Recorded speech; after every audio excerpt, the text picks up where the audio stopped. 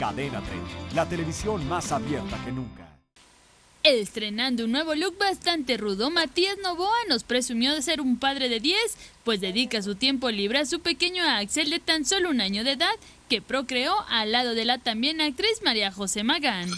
Acabo de estar con él, lo acabo de cambiar de pañales, yo le doy de comer, todo.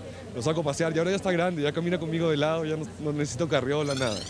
Y pese a su carga de trabajo, para el actor su prioridad es estar al lado de su pequeño y no perderse de momentos que jamás volverán. Pues es algo maravilloso, la verdad, y, y qué rico también que pude tener este tiempo como de descanso para estar con él y disfrutarlo al máximo.